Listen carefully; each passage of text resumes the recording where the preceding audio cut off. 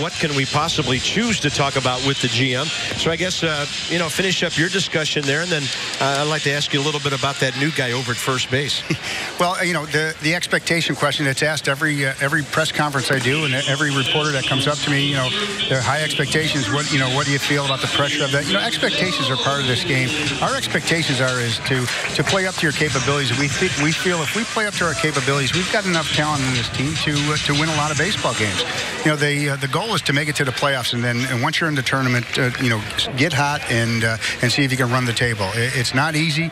Uh, I've been in this game a long time. I've won one World Series in 2001, and uh, you know, so one in 35, 34 years. So it's, it's, it's not it's not that easy. Hard to do. but it's expectations are a good thing. these guys are going to embrace it, and I think they're going to play, you know, loose and easy with it, and and they know they, the the talent level they have. And we have the same goal as every 30, every one of the 30 teams that are going to it. We want to win the World Series. It's it's that it's that simple. But everyone that comes out here has that same goal. And uh, and you know, in, in baseball, it's uh, there's there's a lot of variables that, that go into it. And uh, health is one, ability level is two, uh, and and then you know, you have to sprinkle in a little luck there to uh, to get over the hump. So you know, we we uh, we're going to embrace the expectations. We're going to really enjoy this season, and and see how many games we can win, and, and hopefully we're lucky enough to get in the tournament.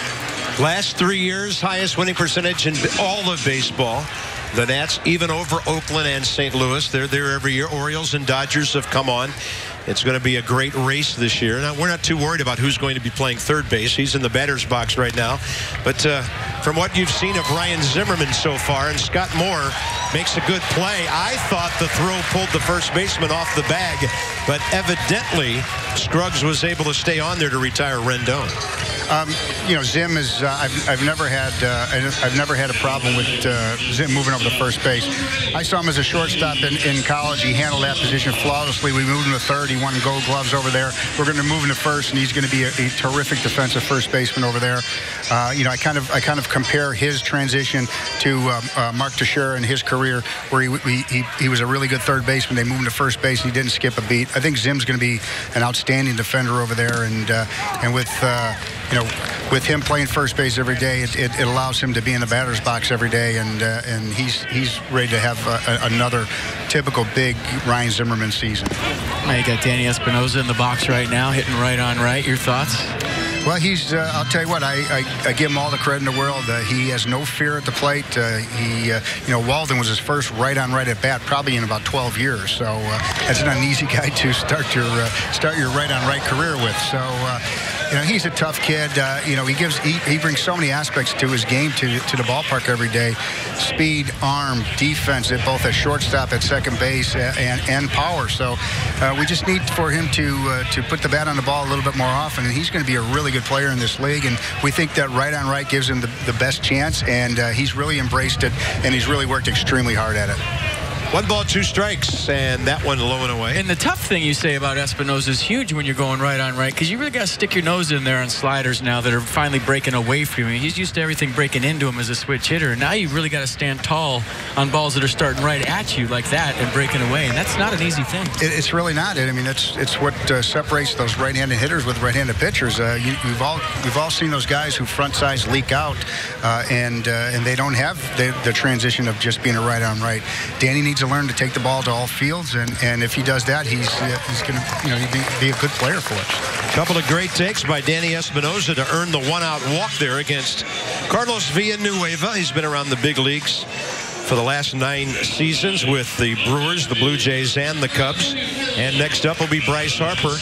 And uh, that'll finish the day for Danny Espinosa as the Nats will pinch run for him. Well, Bryce Harper, number three hitter, right field now. Well, I think Harp's going to hit in the middle of our lineup somewhere. I'm not sure where Matt's going to put him uh, when we all we get this thing kicked off. But uh, you know, we feel that he's uh, he's got a good he's got a good opportunity to play right field. He's more of a prototypical right field type of guy. When uh, you know that throws really well, he runs well. He's got range out there. And in, in our ballpark, especially, you know, right field is, is the bigger field and the tougher field to play. I think moving Jason to left field allows him to to uh, you know maybe get into his legs a little bit more. Uh, it might be a little a little bit easier position for him uh, to transition at his age. Uh, Jason uh, handled it perfectly. He was on board with it. He understood the, the move, and, and Harp was excited about it. I've never been around a team in all my years with so many big players that are so willing to play wherever.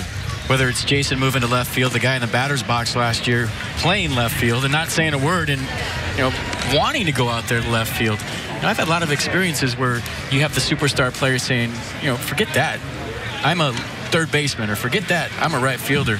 I think that speaks volumes about you know the people in the clubhouse.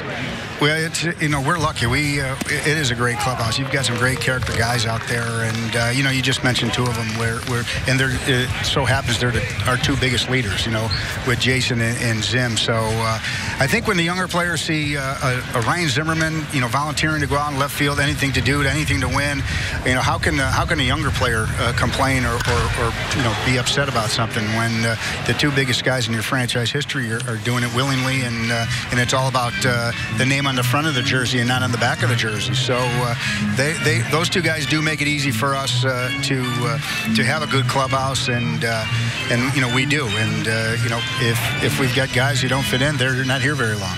Mike, and then there's the pitching. An afterthought, right? Uh, have you ever seen a ball club go into a regular season as loaded as this one?